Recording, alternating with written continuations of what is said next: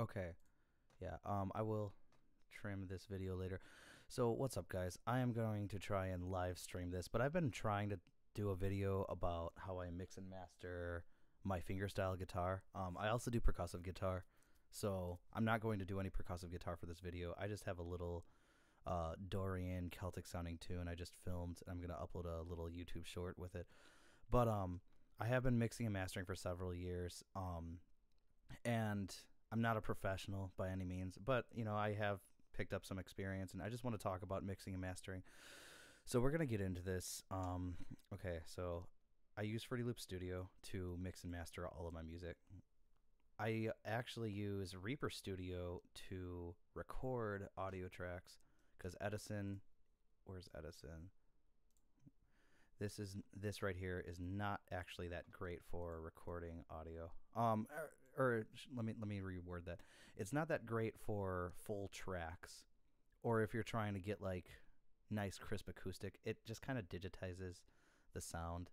Um, obviously, it's great for like a vocal sample or maybe recording, you know, your own music, whatever. But you know, for like I've tried to do full on, you know, eight minute one takes, and it like clips and stuff, and just like I said, it makes it sound kind of digital. So I actually bought Reaper Studio for only sixty bucks, um, and that works great. It's like Audacity, except it's a little more advanced. I would say Reaper's amazing. It's a full on DAW that actually, I think in its rawest price, it's like thirteen hundred dollars. But if you're using it just for yourself they uh, have a, a license for it that only costs sixty dollars. So that's awesome.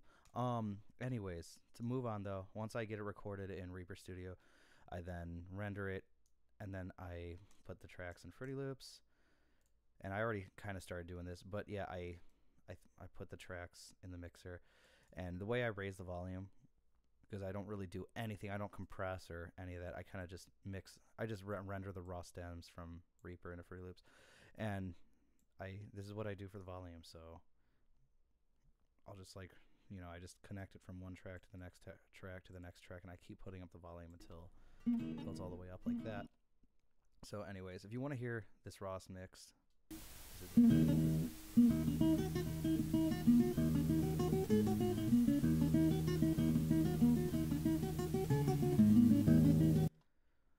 So there's a lot to mix here. I'm also using a different guitar because my, my primary guitar, if you see me on YouTube with my Seagull, I still have it, but it's just getting hard to play. I need to take it to a luthier, so um, I'm actually using a different guitar. I'm using a Michael Kelly uh, little-ish guitar, and it's actually not the greatest guitar for fast playing or you know advanced fingerstyle. I just realized like some guitars that are cheaper, they they just uh, are hard to get nice and crisp, clean notes.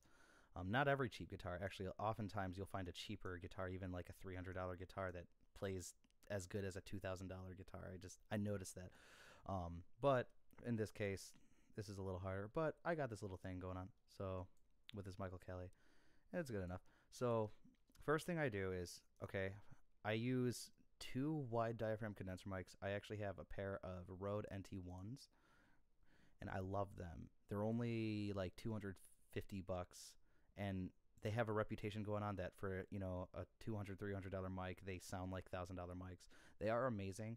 Before i used rode nt1s i had a pair of rode nt5 mini condenser mics and both of those condenser mics sound both of the, the both of the mini condenser mics sound not as good as one rode nt1 so i would say if you're looking for something to get with a budget get a rode nt1 they are great for all around recording but I'm not going to go too much into hardware and stuff. I just wanted to shout that out. Um, you know, most people, most people in guitar though, they do mix, they do use a pair of mini condenser mics to record, and that's the ideal thing. But you have to get really expensive mics. Um, I actually want to get a KM 184. Everyone says that that is the mini condenser mic you want to get to professionally record, but it's eight hundred dollars for just one.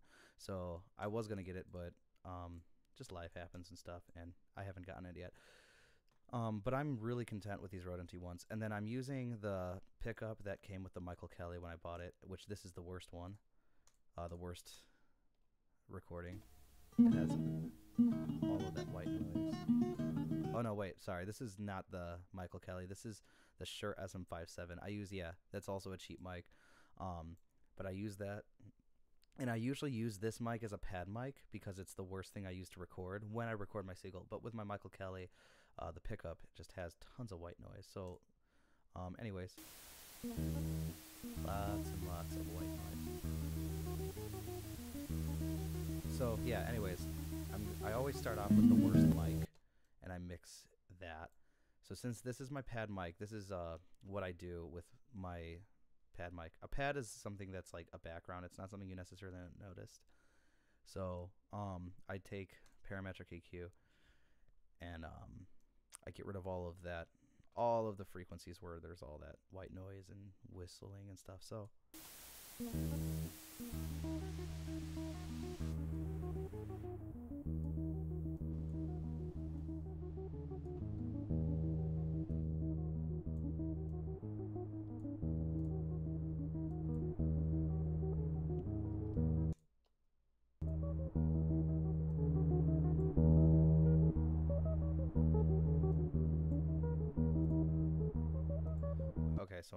Just did that, um, and I'm actually going to do a second parametric EQ and just do a little more.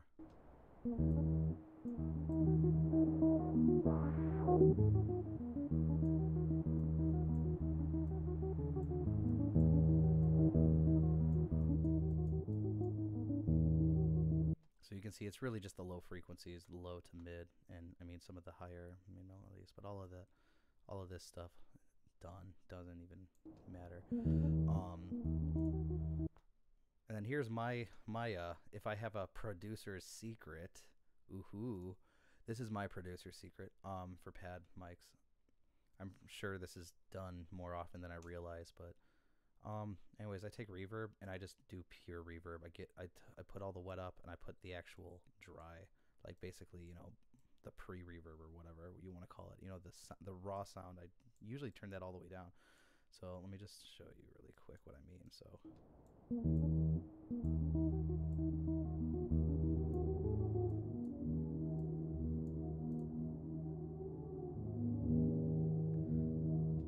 And that's pretty much like what I do with the pad, and that just adds so much flavor. I noticed when I finally did that for the first time, people were commenting on that YouTube video, which I believe that was, I think that was Final Fantasy VIII's cover of Breezy. I did that, and people commented and was like, "Wow, this sounds so crisp and clean." And I knew that was one of the things I did. Oh, I actually forgot. I do one more step usually before I do the reverb. I take a compressor and I just mercilessly compress it. Like I make dubstep kids look good with how bad I compress this. Like I'll put the threshold all, just all like just terribly, just you know that hard compression. Eh, yeah, hard compression. Yeah, um, maybe put that up a little bit because that prevents stuff. Um, there we go. So that's what I do. And that's pretty much the finished product of what I do with this. I'll, I'll go back to the EQ and stuff later on. But long story short, that's basically what I do uh, with this. Let me save this file really quick. Oh, I already saved it. Okay. I thought I did not save it at all. So, anyways, cool. So there's that. Then the next thing I do, um, like I said, usually, you know, with my Seagull, I have a. Usually, I do the I do this pad thing to my uh, Shure SM57, but since the Shure SM57 isn't the worst recording tool I have for my fingerstyle guitar, um, I'm going to mix this now, I suppose. Um, anyways, so I'm not gonna mm-hmm. do much because honestly, what I what I noticed is less is more. You know, you don't want to add all those crazy effects. I I finally am really I finally really started to see that you know, the more effects you add, the more you try and EQ, the more it just starts to not sound well. doesn't sound acoustic. It doesn't sound natural. So minimal, but mm-hmm. you know, this definitely does have like some white noise. So.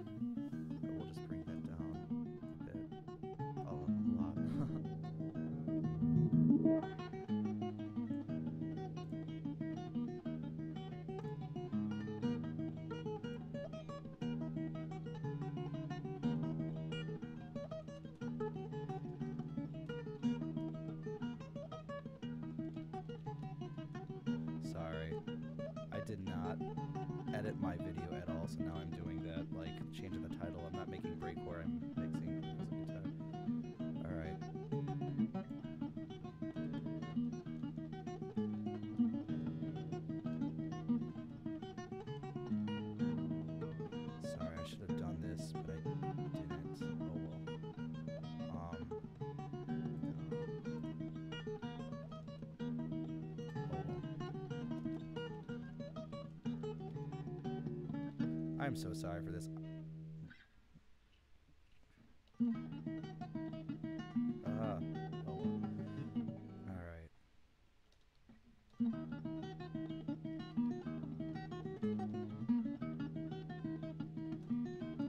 All right. I'm almost done. Just a couple more tags. okay, no, I'm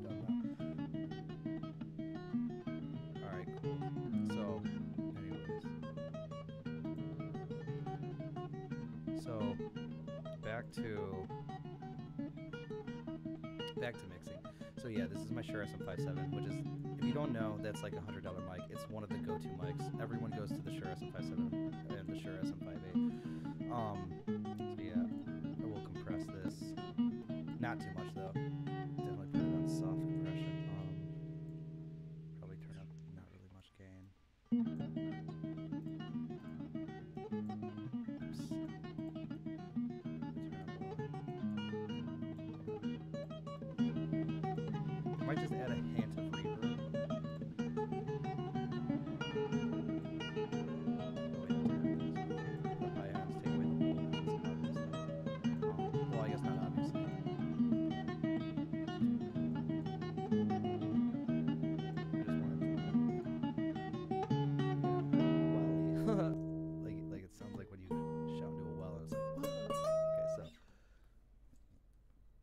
Okay, now here's just a basic thing, you know, for stereo mixing. When you have a pair of mics, you stereo mix them. You pan one to the left, pan one to the right. Okay, and these are both the same mic. They're both Rode NT1As. Um, and this is, you know, just like I always start off doing this, but it doesn't mean I necessarily end it. And I'll show you in other guitar projects. I'm going to show you probably 10,000 reasons because that mix was naturally well. The recordings were naturally well. Um, one of the things that makes your guitar mix good is mic placements. And I'm not super strict on mic placements, but I have seen like it's devastating. Um, depending on how well your mics are placed. For this, honestly, my mics were not. I just kind of just clobbered them together. I didn't even care.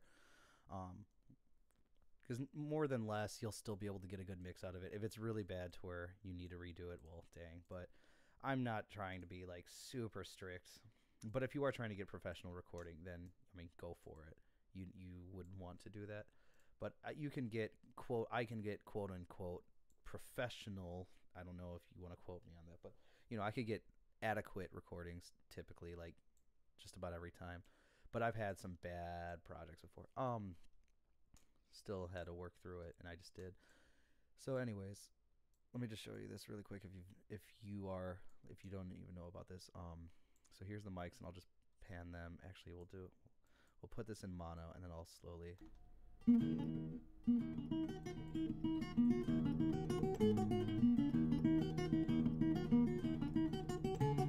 Okay. So yeah, I mean that's just that's just an effect, right? And like I said, this is the basic fundamental um, that people do. So I'm actually gonna just start this in stereo, and I'm gonna mix. Since we went from right to left, I'm just gonna go with this mic.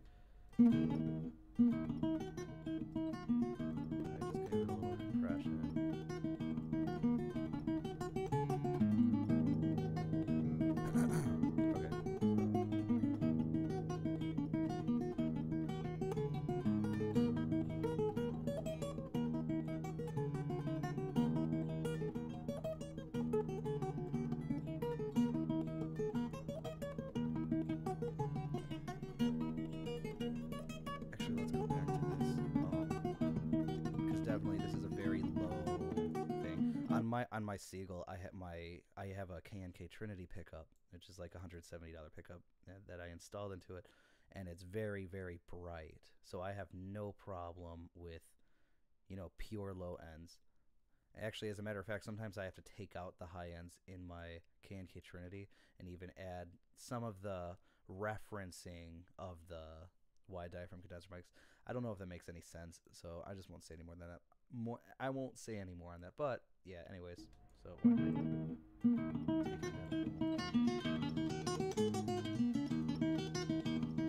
Definitely, there's a fast song, so you really want the legato and staccato going on, right? um, even though they're wide diaphragm condenser mics, they're kind of you kind of want the low ends, but whatever. Just going around.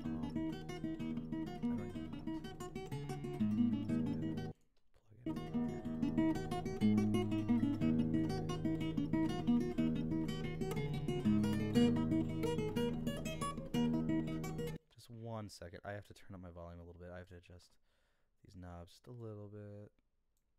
Actually, no, I can't really do that. Never mind. Um, oh my gosh, am I talking soft? Whoops, I'm gonna turn up my mic. I'm so sorry. Actually, no, I'm gonna turn it back down and edit this if I can. I probably can't. Oh well. I hope you can still hear me well. Um, let me just see my volumes really quick. Okay. Oh well. Well. All right, I turn up my mic a little bit. What's up, Kisker? All right. Um. Okay, let's just hear this. Okay, that's nice and atmospheric. Definitely, it's definitely, you know, it's. I mean, it's not bad. It's just not. It's not apparent. You know what I mean? So, I want it to be brighter, more attention getting. So gonna turn down these mics um, and this pad.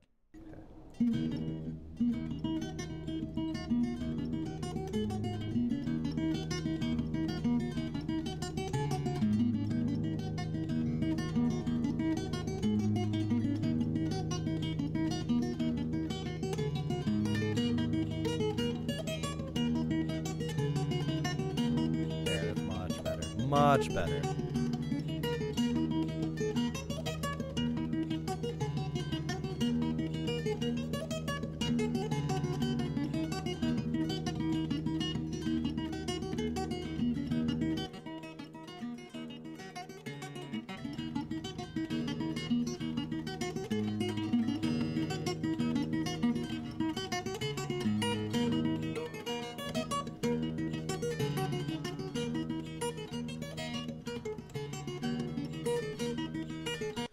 Actually going to add a little bus for those two mics for the effects. So I'm just going to put that, uh, it's just right up to here and just do that. No, yeah, sure, why not? Okay. There, that'll, that's en- enough for me to be like, yeah, that's the bus. We're going to put that on one if we can. Whoa, come on. Five, four, three, two, one. Okay, cool. Okay, let me just get rid of.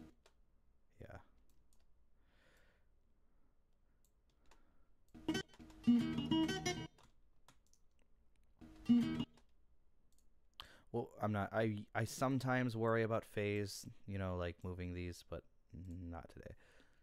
Maybe we'll we'll see.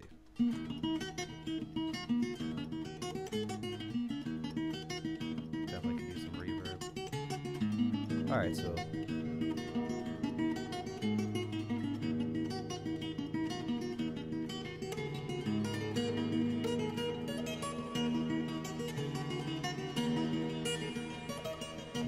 I like that. Yeah, Like I, and I think this is just a common thing. Like re, like a lot of reverb just makes everyone happy. Like it does, but. I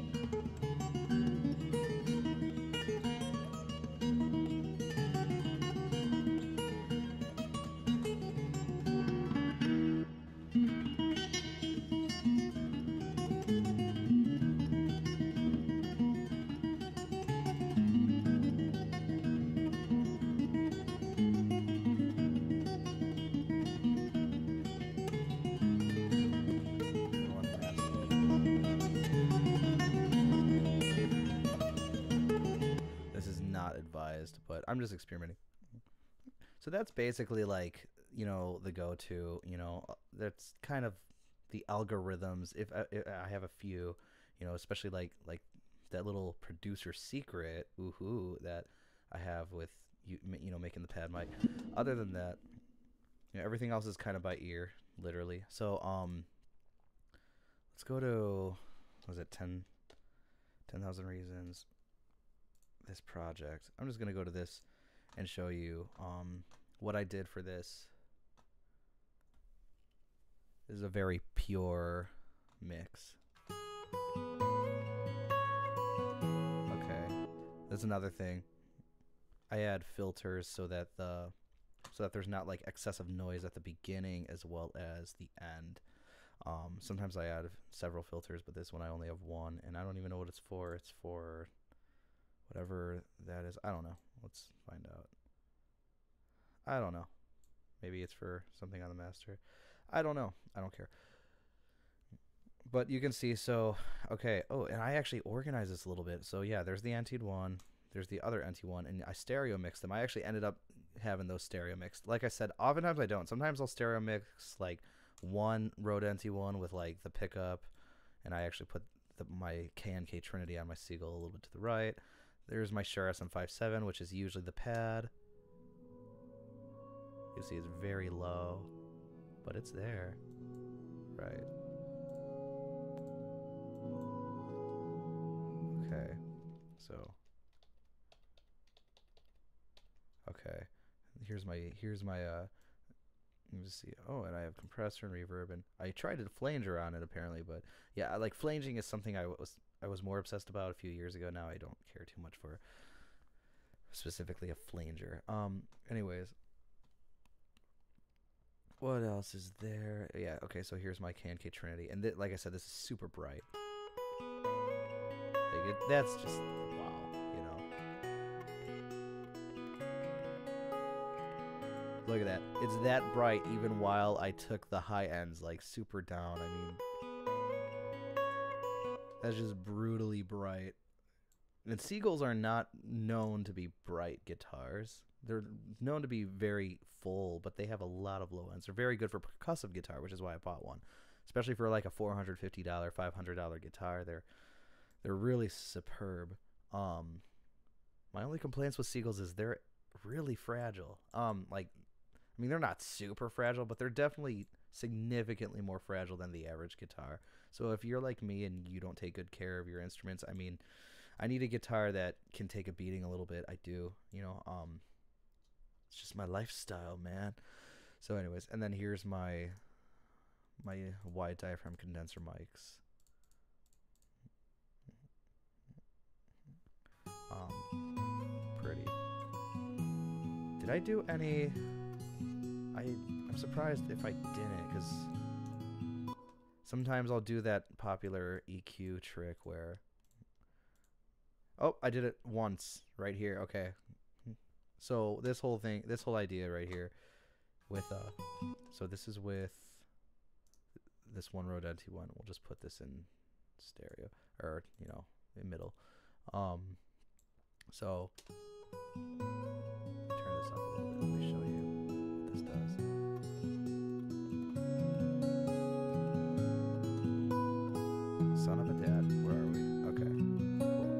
So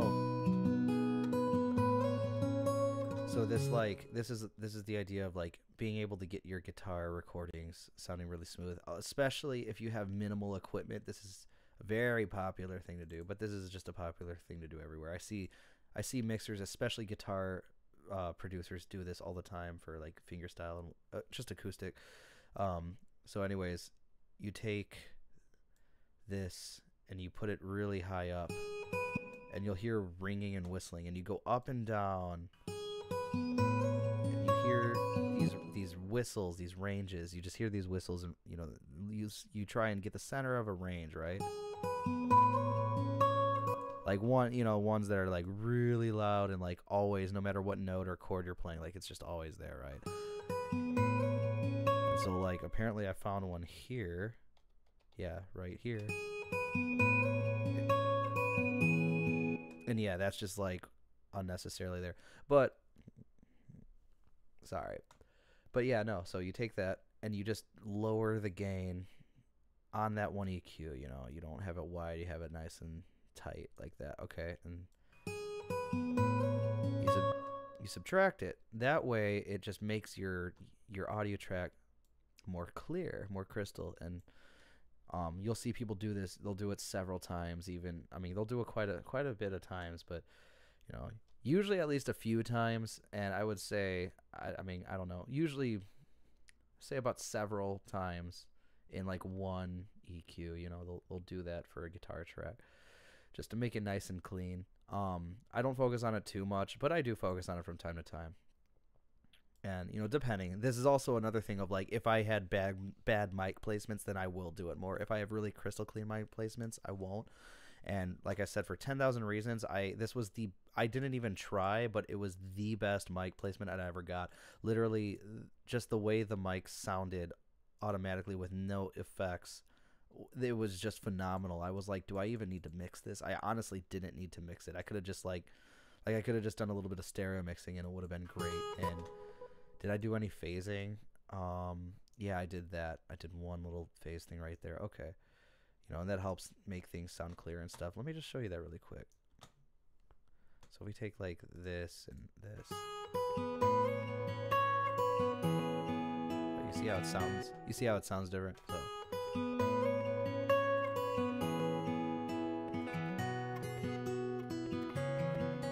And that makes sense on why I chose that one. Do like this one here too. But whatever. So basically, yeah, no, that's all I have. That's all I really have to say. I'm sorry if this video was disappointing. I just I did want to get that out just to have it out. Be like, yeah, I do have a mixing reference of this is how I mix fingerstyle. Oh, I add a little soft clipper. I don't always use those. Did I use a? Did I, I, did not use a Maximus at all. Did I? No. Um, maybe I did. Sometimes I use Maximus, uh, which is a multi-band compressor. Um, I also use a, this thing called a stereo shaper, and I don't think I have it here anywhere. I and I, I think I kind of stopped using it for fingerstyle guitar because it, it can sound it can just kind of clog up the sound. It gets rid of the clarity. So, but let me just show you. Ah, whatever. I won't. But it's honestly a similar thing you can do. You can actually do the same thing with panning and doing this little phase stuff, and it'll it's base it's virtually the same thing. Um, but yeah, no, that's about really all I have to to say. Um, I would mix. I would finish mixing um, my little Dorian tune, but that's gonna take a while. And usually, what I also do this is the last thing I'll say.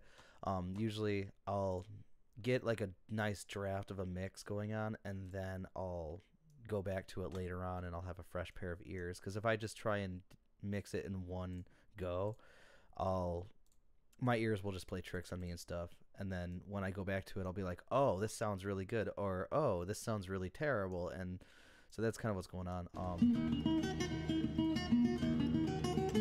see, I already like just from just a few minutes of not hearing this. Now I'm like, oh no, this reverb is just no, it's amateur. It's just bad. I mean, it's not. I don't want to say it's amateur, but it's just to me, I'm just like, uh, it doesn't really paint the picture too well. You know, I use too much of that effect. So, you know, and also I'm I'm mixing this a little softer than I usually do, specifically because um, I don't want too much feedback. More reverb equals happy. Yeah, it does. Kisker, I just saw your comment. Okay. But um Yeah, no, what else? What else do I have to say? Um I think that's about it I feel like I'm missing something. What was I talking about just before I checked the comments? Well, Kisker, thank you for watching my live stream, and you're uh yeah, you're the you're the highlight of the show. Um, I think that's about all I have to say. But yeah, okay. that's it. I'm going to wrap it up. And like I said, I'm just gonna go back to this later on with a fresh pair of ears and then remix it. And yeah, if you want to hear and see the video, I'm just making a little YouTube short. But if you want to see that, go ahead and subscribe to my channel. And um, yeah, thank you. And if you want any more uh, tutorials or anything, you know, um, I also do electronic music and such.